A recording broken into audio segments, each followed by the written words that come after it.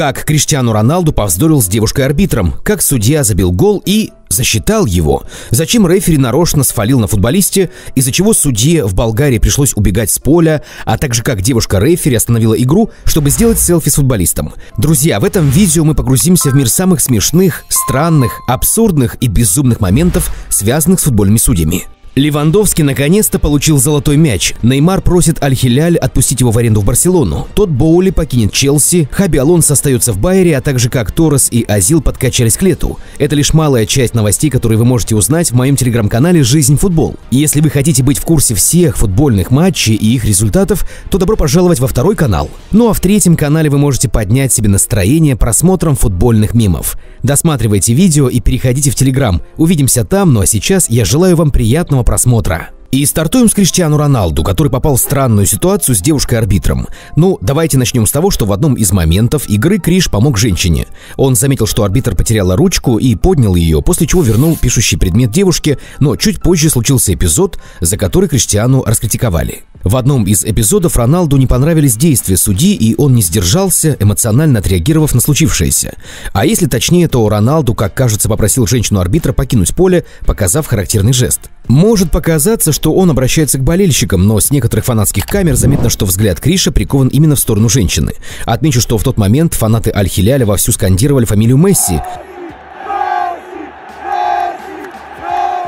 а поэтому нельзя исключать, что Роналду все-таки обращался к ним. В общем, оставляю этот эпизод на ваш суд. В матче группового этапа чемпионата Европы 2012 года между сборными Испании и Ирландии произошел очень курьезный эпизод. Полузащитник «Зеленых» Кит Эндрюс на собственной половине поля готовился принять передачу от партнера, но арбитр встречи, Педро Праенса, оттолкнул ирландца, что привело к перехвату со стороны сборной Испании. Капитан «Зеленых» Робби Кин выразил свое недовольство арбитру. И что бы вы думали, судья показал Кину желтую карточку. То есть судья сфалил на футболисте ирландцев, капитану это не понравилось, и вместо урегулирования конфликта арбитр наградил Кина желтой карточкой за неспортивное поведение. В благотворительном матче с участием легенд сборной Бразилии девушка-арбитр застала врасплох легендарного бразильца Кака. Когда бразилец владел мячом, она на ровном месте остановила игру и показала хавбеку желтую карточку. Сразу после этого девушка достала телефон и попросила Кака сделать сделать совместное селфи. Обладатель золотого мяча 2007 года с радостью согласился сделать фото с девушкой. Ривалду и вовсе не смог удержаться от смеха. А вот один из соперников был в легком недоумении от того, что игру остановили. Правый защитник Штутгарта Жан Циммер в матче Бундеслиги против Бохума стал жертвой бокового арбитра. Немец хотел как можно быстрее ввести мяч в игру с аута, но внезапно получил от Лайнсмана боковым флажком прямо по рукам. От полученного удара защитник уронил мяч и своим видом дал понять, что ему как минимум неприятно. Арбитр, не глядя, задел игрока и когда осознал свою ошибку, то сразу извинился перед жертвой. Похожую ситуацию однажды, который также пострадал от флажка арбитра, но в случае с Жорди, а голова испанца. И снова Германия, только на этот раз вторая Бундеслига. К 80-й минуте Берлинский Унион минимально лидировал в счете в матче с Гройтер Фюртом. После очередной атаки соперника защита столичной команды, казалось, справилась с натиском. Защитник хотел выбить мяч куда подальше, но попал прямо в арбитра Бибиану Штайнхаус. От судьи снаряд отскочил к нападающему Гройтер Фюрта Сердару Дурсуну. Турок поставил корпус, а затем нанес удар, который рикошетом от защитника залетел в сетку, зафиксировав взятие ворот. Вы, наверное, подумали, что гол точно отменили, но нет, Бибиана в итоге засчитала гол, что позволило Гройтерфюрту зацепить одно очко в поединке. В мае 2014 года лондонский Тоттенхэм провел прощальный матч для своего бывшего капитана Ледли Кинга. Англичанин собрал свою команду и провел товарищескую игру на Уайт Харт Лейн против основы Тоттенхэма. Арбитр матча, небезызвестный Ховард Уэбб, в один момент решил повалять дурака, и судьи переквалифицировался в полевого футболиста. Полузащитник Шпор Льюис Холдби с намерением потешить публику подбежал к арбитру и срубил его в подкате. Уэбб не показал немцу желтую карточку, а ответил игроку почти тем же самым. Ховард подошел к Холдби и слегка его оттолкнул, после чего Льюис не без симуляции упал на газон. Конечно, все это было в шуточной манере, и своими действиями судья и футболист решили немного повеселить публику.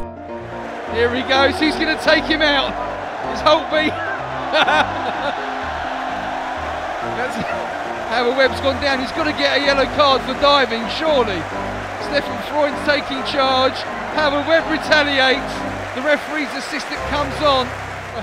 В чемпионате Мексики однажды произошел эпизод, который болельщики футбольного клуба «Крус Асуль» вряд ли когда-либо забудут. Нападающий команды с первой попытки пытался забить в полупустые ворота, но попал в штангу. Мяч отскочил к другому атакующему игроку «Крус Асуля». Футболист прицелился и нанес удар, но на этот раз гол предотвратил арбитр, который каким-то необъяснимым образом решил забежать туда, где ему, по судейским рекомендациям, нельзя было находиться. В итоге рефери перегородил путь мяча к воротам и помог обороняющейся команде избежать гола. Футболисты «Крус Асуль» находились в недоумении, но исправить что-то было невозможно. Арбитр даже не удосужился назначить хотя бы угловой в пользу атакующей команды, и соперники ввели мяч в игру от ворот.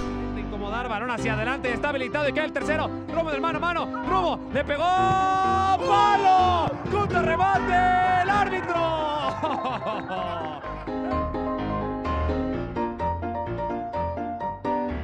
Судья из Бундеслиги представил, что находится на театральном представлении и очень грациозно наказал двух игроков обеих команд. Арбитр потянулся руками в каждый из карманов футболки и одновременно показал нарушителям желтые карточки. С одной стороны, судья сэкономил время, но ему ничего не мешало дважды махнуть горчичником в сторону каждого игрока. Зато получилось довольно грациозно. Легендарный вингер Баварии Франк Рибери имел особенные отношения с судьями. Во время очередного матча Бундеслиги француз готовился исполнять штрафной удар. Рядом с Франком находилась ранее упомянутая Бибиана Анна Штайнхаус, которая давала некие указания.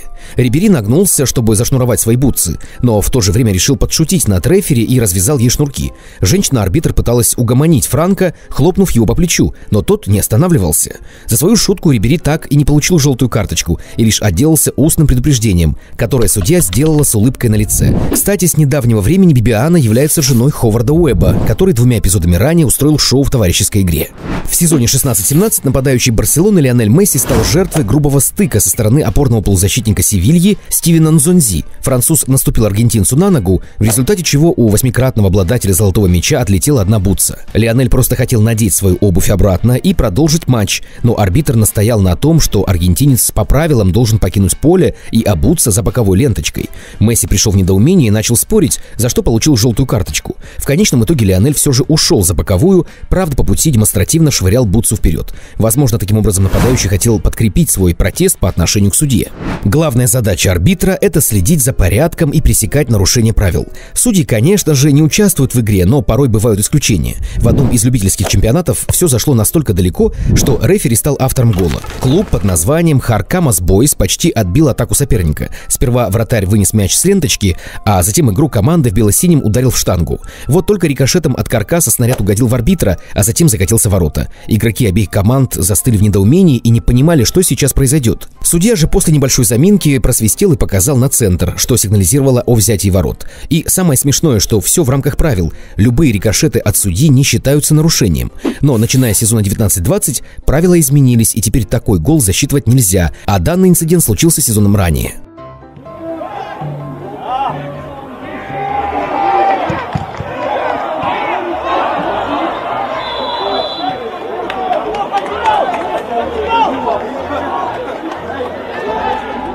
Четвертом дивизионе чемпионата Болгарии все и вовсе вышло из-под контроля. Игрок команды в бело-зеленом был очень недоволен решением арбитра. Судья, в свою очередь, возмутился агрессивным поведением футболиста и показал ему желтую карточку. Вслед за этим к арбитру подошел капитан бело-зеленых и тоже начал возмущаться. В этот момент игрок, получивший желтую, попытался всыпать судье леща, но рефери ловко увернулся. Сопернику удалось утихомирить агрессивных игроков, но только на некоторое время. Арбитр, покинув пределы поля, дал финальный свисток, что лишь больше разозлило бело-зеленых. Бедного судью сперва пытались ударить мячом, а затем началась настоящая погоня, результаты которой остались неизвестны.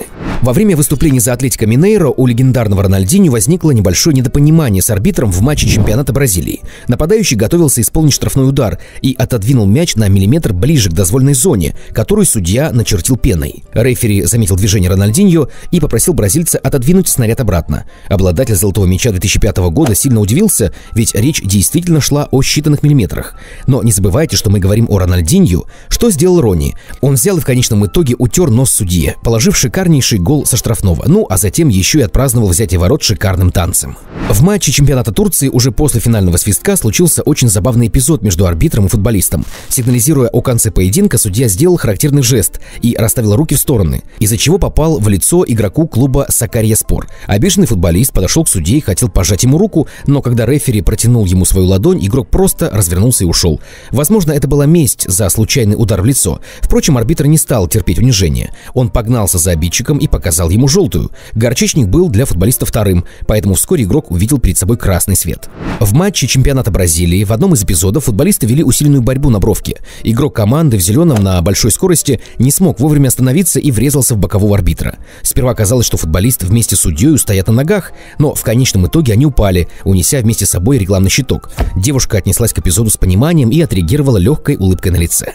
И снова Бразилия. Перед розыгрышем штрафного удара игроки команды в голубом были недовольны тем, как боковой арбитр начертил линию спреем. Когда футболисты начали жаловаться главному арбитру, лайнсмен, что называется, психанул и начертил огромную зону своим спреем, чтобы игроки в этот раз точно разобрались, с какой точки разыгрывать мяч. Возмущение от этих действий стало еще больше, вот только главный арбитр не может показывать желтый своим ассистентам.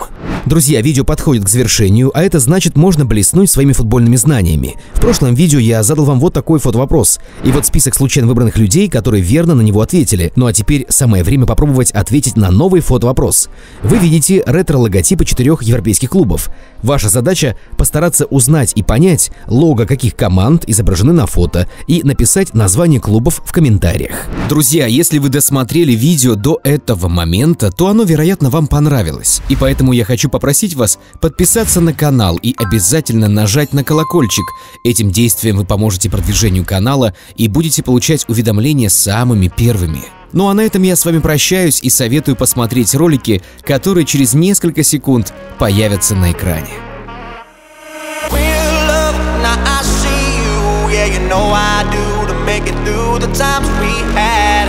I see it now, I see it now